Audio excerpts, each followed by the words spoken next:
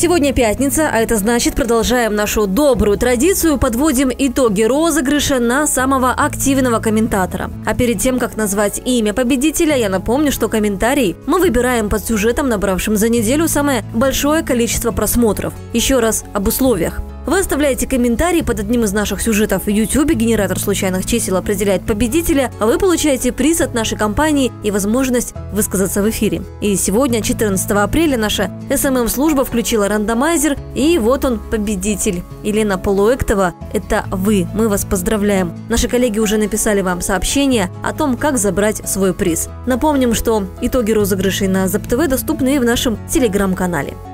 Дорогие наши подписчики, а у нас опять прекрасные новости. ЗапТВ вошел в список популярных региональных телеканалов России в соцсети «Одноклассники». Об этом 13 апреля сообщил телеграм-канал New Media. Из представителей ДФО в топ по вовлеченности подписчиков также вошли Аригус и ТВКом, оба представители Улан-Удэ и телеканалы Забайкалья. Ставьте лайки нашим сюжетам в YouTube, пересылайте ссылки друзьям, оставляйте комментарии. Одним словом, проявляйте активность, ведь нам так нужна ваша поддержка и важно ваше мнение, чтобы двигаться дальше.